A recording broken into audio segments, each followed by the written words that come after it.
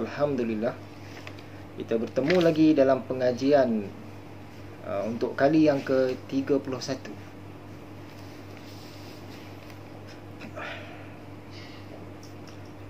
Stesen angkasa antarabangsa ISS berada di luar kawalan. Uh, Kawalan terhadap stesen itu hilang selama 45 minit. Ringkas saja cerita. Yang kedua banjir dan tanah runtuh akibat hujan monsun meranggut 20 nyawa selain memerangkap 300 ribu orang penduduk kampung di tenggara Bangladesh. 70 uh, kampung tenggelam.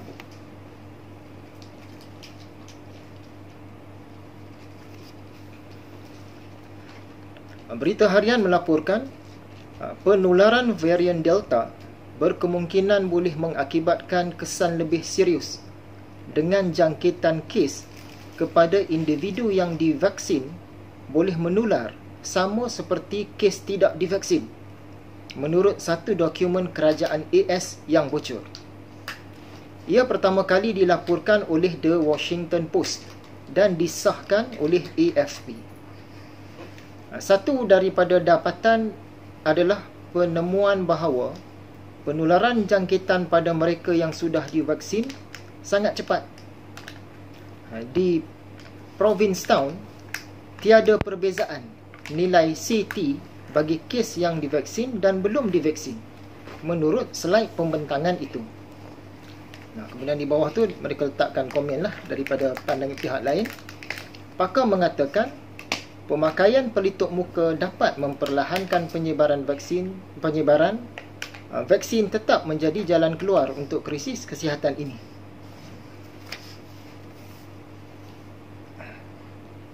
Di negara-negara barat ini umumnya mereka telah buat uh, pemvaksinan besar-besaran. Uh, kalau berdasarkan laporan-laporan media lah. Dan kemudian memang kita nampak menurun dengan laju uh, jumlah kes hariannya. Tapi tak lama lepas itu melonjak naik dan naik melonjak itu pun laju juga. Contoh dia macam Amerika Syarikat. Dia hari itu dia turun sampai 9600 kes sehari sekarang naik sampai 96,000 United Kingdom uh, pernah turun sampai 1,600 sekarang sampai 34,000 France pernah turun sehingga 1,900 kes sekarang 25,000 nampak graf dia tu turun lepas tu naik. Uh, Spain turun sampai 1900 sekarang 26000 Itali turun sehingga 600 sekarang 6600 Jerman turun sehingga 300 sekarang 2700 Belanda turun sehingga 400 sekarang naik sehingga 3400 mungkinlah sebab ada varian-varian yang terbaru. Wallahu alam. Seterusnya kebakaran di Turki makin parah sehingga terpaksa diisytiharkan darurat di kawasan-kawasan berkaitan. Setakat ini lima orang terkorban. Lagi satu, pembuat kereta mewah Porsche atau Porsche, ha, mana-manalah sebutan, mengesahkan penyertaan dalam perlumbaan angkasa lepas selepas membuat pelaburan ha, ratus-ratus juta lah ha, ya, kepada syarikat Jerman. Catatan saya ni tak tepat entah berapa banyak dia bagi tu. Tapi nak menunjukkan syarikat yang mengeluarkan kereta yang hebat ha? seperti Porsche ini pun dah terlibat dalam perlumbaan ke angkasa lepas. Ha, mungkin lepas ni banyak lagi lah akan masuk kan? Ferrari dan sebagainya. Ha, mereka macam-macam nak dicari di atas tu. Itulah antara berita-berita yang sempat kita kongsikan. Sesi seterusnya, hal-hal berbangkit dan persoalan. Mengapa mereka mengkagumi simbol ular?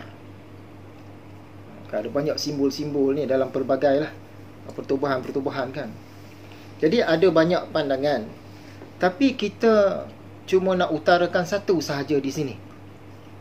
Ha, jawapan dia, kerana mereka memandang hikmah dengan cara yang salah. Ha, itu asalnya perkara-perkara yang buruk, yang gelap, ha, perkara-perkara yang jahat disanjung mulia. Kerana bagi mereka perkara-perkara itulah yang melahirkan perkara-perkara yang cantik, perkara-perkara yang terang, perkara-perkara kebaikan. Sebab itu, mereka ni ada yang memuja, memuji, menyanjung, mengkagumi ha, dan sebagainya selain daripada ular tadi mereka ni terhadap iblis ha, terhadap Lucifer terhadap syaitan Namrud ahli-ahli sihir Fir'aun dan sebagainya. Ha, ini mereka sanjung benda-benda ni. Padahal benda-benda ni benda tak elok. Sebab mereka pandang macam tu tadi. Disebabkan benda-benda tak elok inilah lahir benda-benda elok. Jadi mereka puja yang itu. Dalam Bible iblis itu pernah uh, berada dalam rupa ular. Ular itulah yang telah menghasut Adam dan pasangannya, uh, Eve, Eva dan apa saja namanya lah. Uh, kita sebut Hawa. Sampaikan dihasut sehinggakan Adam dan pasangannya terusir dari taman di Timur Eden. Taman di Timur Eden ni kita dah cerita dah sebelum ni. Uh, dalam Islam memang kita yakin pun iblis dia jadi asbab lah kepada Adam dan Hawa ni untuk diturunkan daripada jannah. Berbalik kepada uh, pegangan kaum Yahudi tadi. Uh, ular ni dia merupakan simbol kepada kelicikan. Lambang kepada kecerdikan tapi dalam hal-hal negatif. Uh, dalam uh, kitab Bible Genesis pasal 3 ayat 1 kita sebut kitab uh, kejadian. Adapun ular merupakan yang paling licik daripada segala haiwan darat yang dijadikan oleh Tuhan Yahweh. Kemudian ular ini uh, dia ni menghasut pasangan Adam makan buah daripada pokok uh, larangan, pokok kehidupan dan Hawa tadi, uh, Eve, Eve tadi bagi kepada Adam pula dan Adam pun makan. Kemudian mereka terdengar Tuhan Yahweh berjalan di dalam taman itu. Ha, bagi kita orang Islam kita lainlah pandangan kita kan sebab bagi kita mustahil lah Tuhan boleh berjalan kan. Ha, tapi ini kita nak cerita pandangan mereka. Jadi bila terdengar mereka dah buat salah, terdengar kata Tuhan berjalan di dalam taman di timur Eden tu, mereka pun menyorok. Ha, dia boleh menyorok pula daripada Tuhan. Genesis pasal 3 ayat 9. Tetapi Tuhan Yahweh memanggil manusia itu. Di manakah engkau? Ha, ini pun kalau studi perbandingan agama, kita pertikaikanlah. Tapi sini cerita tentang zaman akhir kan. Ha, takkanlah Tuhan tak tahu ha, Adam nyorok di mana. Ha, tetapi ini kepercayaan ha, dalam Bible. Ha, dia cari Adam, di manakah engkau? Sebab Adam menyorok. Ha, jadi Tuhan tak tahu di mana Adam menyorok. Jadi, ular ini ataupun iblis bagi mereka ular tu yang hasut ha, tu gambaran iblis bagi mereka ular ini tadi dia berjasa menyebabkan manusia diturunkan ke bumi. Dan seterusnya manusia dapat keturunan. Dan kita terlahir. Nabi-nabi terlahir. Jesus pun terlahir disebabkan oleh perbuatan si ular. Bagi mereka ini satu jasa. Sebab tu mereka menyanjung. Salah satu sebab. Ada banyak sebab lah mereka sanjung dan mereka berpandangan sebab adanya orang yang jahat macam Namrud maka Tuhan hantar Nabi Ibrahim ke dunia ha, jadi berjasanya Namrud tu ha, sebab tu dia diangkat sampailah sekarang sebab jahatnya Fir'aun lah maka kaum Bani Israel ni terusir dari Mesir dan maka dapat pergi ke Palestin. Ha, jadi mereka pandang itu sesuatu yang bagus. Sebab tu mereka sampai sekarang masih menyanjung apa-apa yang perihal Mesir tu kan, perihal Firaun dan ahli-ahli sihirnya tu. Jadi ular ini sangat berjasa dan ular itu pula adalah iblis. Inilah salah satu sebab utama mereka sangat meraihkan ular tu tadi. Ha, tu kalau kumpulan-kumpulan jahat dalam filem-filem selalu ada gambar ular kan dia punya lambang-lambang tu persoalan seterusnya mengapa kita ni tak tunggu saja Al-Mahdi tunggu je lah Imam Mahdi. Kan ke Imam Mahdi tu datang nanti, Islam akan gemilang. Ha. Jadi kita umat Islam menunggu Al-Mahdi ni dah 1400 tahun. Dalam tempoh 1400 tahun itu, ha, macam-macam kita ni dah kena. Nah, jutaan orang Islam ni terbunuh, cacat, jadi yatim piatu, ditindas, diperkosa, dihina, dimalukan dan sebagainya. Wilayah-wilayah Islam dirampas, dilanggar dan sebagainya lah. Jadi takkanlah kita sekadar nak tunggu, tengok dan dengar sahaja. Tunggulah Al-Mahdi datang, biar je Allah dah ni akan hantar Al-Mahdi dan Nabi Isa. Dah 1400 tahun dah kena ni. Nak tunggu berapa lama lagi, berapa ramai lagi nak biar kena saja. Para sahabat pun umumnya menunggu Al-Mahdi. Sebab tu Sayyidina Umar ni dia nak bunuh Ibnu Sayyid yang disangkakannya sebagai Dajjal. Bukankah Al-Mahdi dan Dajjal ni datang pada zaman yang sama? Sayyidina Umar pun tahu. Maksudnya Sayyidina Umar pun menanti juga kod-kod Al-Mahdi datang dah zaman tu. Para sahabat, para tabi'in dan generasi awal Islam semua tunggu Al-Mahdi. Tetapi mereka tetap perjuangkan Islam. Mereka perjuangkan Islam dari segi akidahnya, dari segi politiknya, dari segi peperangannya, dari segi ekonominya, dari segi perubatan dan kesihatannya, dari segi seni dan budayanya dan lain-lain. Mereka perjuangkan. Mereka tak tunggulah Al-Mahdi. Tak. Sultan Muhammad Al-Fatih, uh, Salahuddin Al-Ayubi, uh, Nuruddin Zanki, uh, Malik Shah, Osman Ghazi, Umar Mukhtar, Tun Perak, Wali Songo dan lain-lain. Semua tunggu Al-Mahdi tapi kita tengok macam mana gigih mereka punya juang jihad. Ha, tak ada pula mereka kata kita tunggu Al-Mahdi je lah. Kan? Ha, tak ada. Mereka sanggup berjuang, berperang. Jadi, tunggu Al-Mahdi ini bukan bermaksud kita duduk diam-diam, kita tengok dan kita dengar je. Ha, tunggu saja dia datang. Ha, jangan buat apa-apa. Sebab kalau kita bertindak pun takkan menang. Ha, ini pandangan yang uh, salah. Jadi sementara menanti ini kita nak biar berapa ramai lagi yang nak dibunuh, diseksa, dihina, wilayah Islam dirampas, akidah dirosakkan. Kan? Berapa, berapa lama lagi kita nak biar?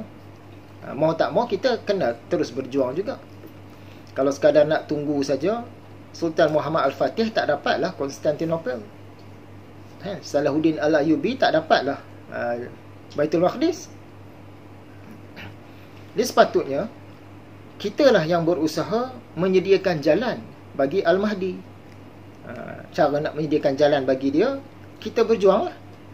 Ha, kita berjuang. Bukan sekadar tunggu kosong sahaja. Ha, persoalan seterusnya. Bila bermimpi akan yang di Pertuan Agong? Yang ini saya share di Facebook tahun lepas. Kalau tak selesai, eh, kalau tak salah, mimpi itu pada hari Selasa malam Rabu. Tapi mimpi itu dah sebelah lepas tengah malam dah pagi, boleh kata awal pagi Rabu lah. Oleh kerana mimpinya lepas tengah malam, kita kira Rabu lah. Rabu itu 16 hari bulan 9. Kalau tak salah lah hari itu mimpi sebab dah lama, dah setahun dah. Semalam ada orang tanya. 16 hari bulan 9 tu, kalau hadirin masih ingat merupakan sambutan Hari Malaysia. Jadi dalam mimpi itu biasanya kalau kita mimpi satu-satu orang tokoh ni dalam satu malam tu sekali itulah mimpi dia. Ha, lepas tu tak adalah sama ada kita ada mimpi yang lain ataupun tak ada mimpi dah. Ha, tapi yang saya mimpi hari itu tahun lepas tu tiga kali dalam satu malam berturut-turut. Ha, mula-mula jumpa Agung tu ada dia cakap apa? Saya terjaga. Terjaga. Tu tidur balik. Mimpi lagi. Jumpa pula di tempat lain. Dia ada cakap. Apa itu? Terjaga. Dah dekat nak pagi nak subuh lah. Kan? Tidur pula lagi. Mimpi lagi. Tempat lain pula. Oh, tiga tempat. Jadi dalam satu malam tu. Berturut-turut. Tiga kali. Kalau tak salah lah. Itulah tarikh dia. 16 hari bulan 9 2020. Slot seterusnya. Ya, sambung kisah Tamim Ad-Dari. Ha, sebenarnya banyak perkara yang kita nak sampaikan tentang akhir zaman zaman akhir ni. Ha, tapi tak tahu nak keluar macam mana. Terlalu banyak. Ha, sikit-sikit lah kita.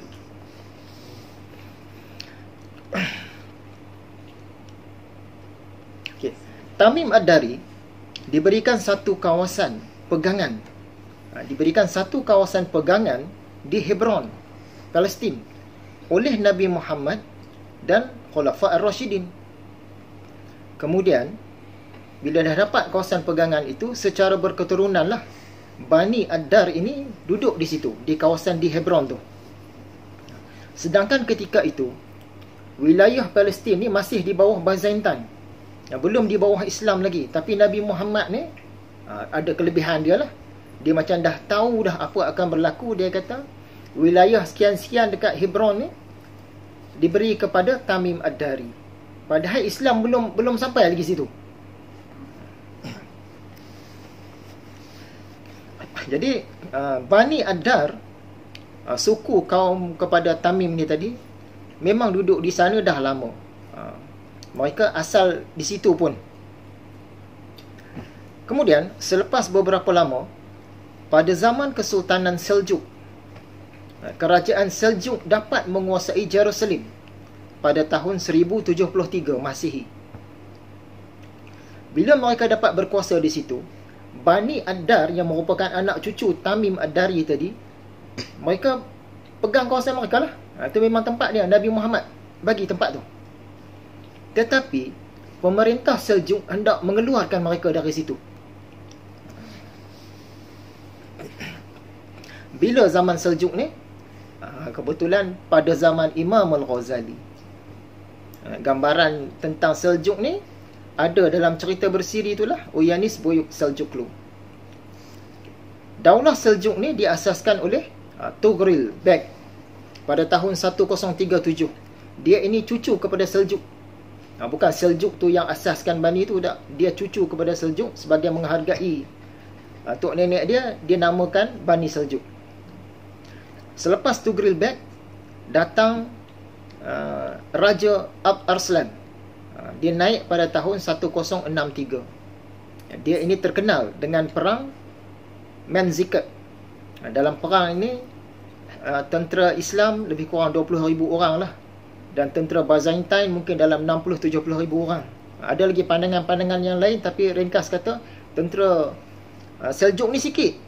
Tentera Rom tu ramai tetapi menang kepada Al-Arslan.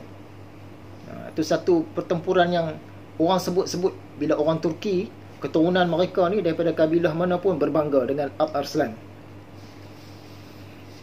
Ha, selepas itu, sampai pula zaman anaknya Malik Shah. Malik Shah I pada tahun 1072.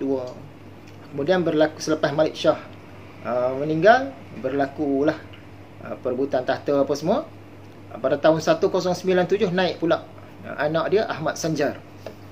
Itu sedikit tentang Seljuk.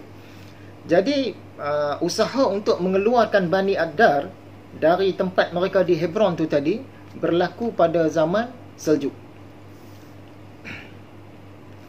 Kemungkinan sekali berlaku sekitar tahun 1090-an 1090-an waktu Imam Al-Ghazali keluar pergi beruzlah dan dia singgah di Jerusalem di Palestin. Dia ada di situ waktu itu.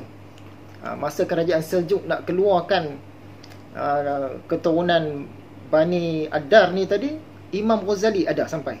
Dia baru keluar uzlah. Dia tinggal semua pangkat jawatan semua tinggal dia keluar uzlah kan? Dia sampai situ. Uh, Khadi Jerusalem kita sebut sebelum ini Khadi ni satu jawatan yang sangat besar zaman tu Khadi Jerusalem iaitu Abu Hatim Al-Harawi Al-Hanafi. Dia ni disebabkan pengaruh politik tadi, pengaruh politik Bani Seljuk. Dia fatwakan Bani Adar kena keluar dari tanah tu dan kena beri pengurusan tanah itu kepada pemerintah Seljuk. Ha, dia keluar fatwa. Orang tak boleh lawan fatwa Khadi. Antara hujahnya dia kata yang Nabi Muhammad bagi kepada Tamim Ad-Dari 500 tahun sebelum itu lebih kurang itu tidak sah. Dia boleh kata macam tu. Sebab ketika Nabi Muhammad bagi itu uh, Hebron tu belum berada di bawah kekuasaan Islam. Belum Islam punya, belum Nabi Muhammad punya macam mana Nabi Muhammad nak pergi bagi no tanah orang tu aku bagi kat kamu lah. Itu hujah dia. Tapi sebenarnya dia dipengaruhi oleh dia lah politik lah kan mungkin dia pun tak boleh nak mengelak tetapi ketika itu nasib baik Imam Ghazali ada. Ha, kebetulan dia uzlahkan dia uzlah dia asingkan diri dia jalan sana pergi sini kan. Dia singgah di Jerusalem. Ha, dekat Hebron tu lah.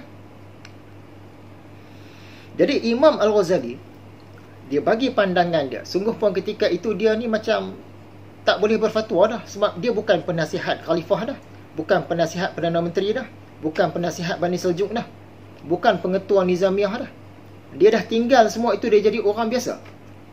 Ha, tapi ialah ada ada izah dia, kehebatan dia tu. Sungguh pun Khodi dah dah keluarkan fatwa kata, ya Bani Dar kena keluar. Ni kena serah kepada Seljuk. Imam Ghazali ada di situ kata tak boleh. Dia bagi pandangan dia pula. Dia bertahan lah dengan hujah-hujah dia. Jadi keputusannya tanah itu kekal kepada Bani Ad-Dar tadi ha, disebabkan Imam Ghazali. Ha, sampai begitu sekali. Ha, orang kata kita ikut jelah khodi-khodi, mufti-mufti, pemerintah Seljuk semua ni, ya, mereka ni orang pakar, orang keahlian semua. Bagi Imam Ghazali tak ada. Kalau benda salah tetap salah. Ha, walaupun ketika itu dia orang biasa dah. Ha, dia dia lawan juga dan dapat kepada Bani Ad-Dar. Ha, tapi bila dah sampai zaman Zionis datang dulu tahun abad yang lepas tempat tu pun dah dimusnahkan dan keturunan Bani Ad-Dar ini pun dah berselerak lah ke sana sini. Ha, di Palestin pun ada di negeri-negeri lain pun ada. Jadi persoalannya adakah Bani Ad-Dar ini berkait rapat dengan zaman akhir? Sebagaimana yang kita maklumkan sebelum ini ha, tidak saja-saja Imam Al-Ghazali ni dia keluar beruzlah ha, lebih kurang sebelah tahun. Dia keluar beruzlah sedangkan ketika itu dia berada di kemuncak kerjaya dia. Ha, kemuncak karirnya dia ulama nombor satu daulah Abbasiyah. Dan daulah Seljuk sekali lah Seljuk ni bawah Abbasiyah. Dia merupakan penasihat khalifah dan penasihat kepada Perdana Menteri. Dia juga merupakan pengetua di Madrasah Nizamiyah. Sekolah sekolah Nizamiyah ni banyak sekolah. Sekolah-sekolah yang mula-mula berada di bawah kerajaan Ha, sebelum itu semua sekolah pondok sendiri-sendiri kan. Ini sekolah yang mula-mula di bawah kerajaan Islam. Dan umur dia pula masa tu baru 40. Maksud dia kerjaya dia memang tengah memuncak naik memang boleh pergi jauh lagi. Tapi dia tinggal semua. Mengapa? Ada banyak sebab. Yang pertama, sebab dia mahu mendapatkan suatu makam yang dia dah nampak. Tetapi macam dah tak ada dah pada zaman itu. Zaman sebelum tu ada. Dalam uzlahnya itu barulah dia dapat apa yang dia nampak itu dan dalam uzlah itulah dia baru dia asaskan tarikat Ghazaliyah. Yang ini mungkin kita akan buat slot uh, khas dalam kuliah-kuliah akan datang. Panjang sikit cerita. Yang kedua, kerana Imam Al-Ghazali hendak menghadapi perang salib. Dia seolah-olah tahu awal lagi. Sebab dia tiba di sana, di sebelah Syria, Palestin sana, sebelum tentera salib datang. Tentera salib yang mula-mula sekali. Dia sampai di sana, dia latih orang-orang soleh di sana dan dia susun anak-anak murid dia itu di sana. Ha, ada murid-murid yang jadi mursyid tarikat Ghazaliyah tu ada di sana.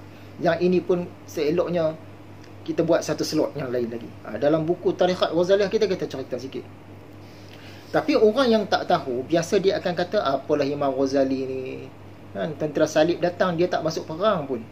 Lepas tu dia pergi pula tempat lain. Ha, dia ya, sebab tak faham tak faham cerita tak tahu cerita. Itu biasa. Yang ketiga Imam Ghazali dia pergi ke Palestin. Sedangkan tempat itu merupakan tempat utama untuk uh, perang zaman Al-Mahdi dan Nabi Isa nanti. Uh, dan Dajjal sekalipun di situ. Yang keempat Imam Al-Ghazali dalam uzlahnya itu dia pergi ke dua kota yang tak dimasuki oleh Dajjal iaitu Makkah dan Madinah yang kelima, di sana Imam Al-Ghazali di Palestin tadi dia pertahankan pesanan Rasulullah untuk Bani Ad-Dar. Apa nama dia? Tamim Ad-Dari. Yang keenam, Imam Ghazali masa di Damsyik, Syria, di Syam waktu itu, dia uzlah di mana? Dia uzlah di Masjid Jami' Masjid Umawi. Di situ ada menara sebelah timur. Di menara itulah kebanyakan ulama zaman itu mengatakan tempat akan turunnya Nabi Isa pada akhir zaman, pada zaman akhir. Ha, sekian turun tempat lain pun tak tahulah tapi berdasarkan pendapat ulama zaman sampai ke zaman sekarang. Di situlah menara putih di timur Damsyik itu. Ha, di timur itu akan turunnya Nabi Isa. Masa Al-Mahdi nak jadi imam solat dengan pasukan dia, Nabi Isa datang. Al-Mahdi pun nak bagi Nabi Isa jadi imam, Nabi Isa suruh Al-Mahdi jadi imam. Ha, di situ tempat turun dia. Kenapa dia pi uzlah di menara tu? Dua tahun rasanya. Ha, uzlah di menara itu. Jadi bukan saja-saja. Ramai juga yang tak tahu yang ketujuhnya. Imam Al-Ghazali dia ada keluar daripada uzlah dia. Uzlah sampai sebelah tahun. Seolah-olah dia putus hubungan dengan apa-apa pun dia tumpu duk amal ibadah saja. Seolah-olah begitu. Tapi sebenarnya dalam uzlahnya itu dia ada keluar. Ha, dia keluar pula atas uh, arahan khalifah. Dia pergi ke sebelah Khurasan. Ha, apa cerita dia? Memang kampung asal dia pun sebelah Khurasan. Sebab dia duduk tu di wilayah Iran sekarang. Di timur Iran tu dah masuk Khurasan dah. Dia pergi ke situ. Jadi ada kerja-kerja dia. Maklumat-maklumat tertentu sebegini memang tak diketahui oleh umum tapi ada diturunkan dari satu generasi ke satu generasi daripada guru-guru kita lah dalam Tariq Ghazaliyah ini. Ha. Tapi apabila uh, dah sampai zaman sekarang, zaman moden, berlaku ledakan teknologi, ha, teknologi maklumat lah sejak tahun 1900 dulu kan, buku-buku banyak, mesin cetak dibuat, sampai sekarang zaman kita pula, komputer pula lagi hebat lah. Maklumat-maklumat yang guru-guru kita turunkan tu, kita tengok, eh, kena. Ha, selaras ya cerita dia. Sebab kita boleh cari. Dulu kita payah nak cari apa maklumat tentang Hebron. Kan orang tahun 1800. Apa maklumat tentang Hebron? Kita duduk di tanah Melayu nak cari mana maklumat tentang Hebron. Nak cari maklumat macam mana tentang timur timur Iran. Ha, tentang Masjid Umawi. Kita cuma dengar kata-kata orang yang balik dari sana saja. Ha, tapi bila sampai tahun 1900, maklumat-maklumat itu kita mudah cari dah. Ha, dan nampaknya selaras. Dan selain daripada uh, Imam Al-Ghazali dia begitu pertahankan kehendak Rasulullah supaya wilayah di Hebron tu kekal kepada Bani Tamim Ad-Dari. Mengapa dia sangat pertahankan Bani Ad-Dari? Ad-Dari. Itu akan masuk dalam kuliah akan.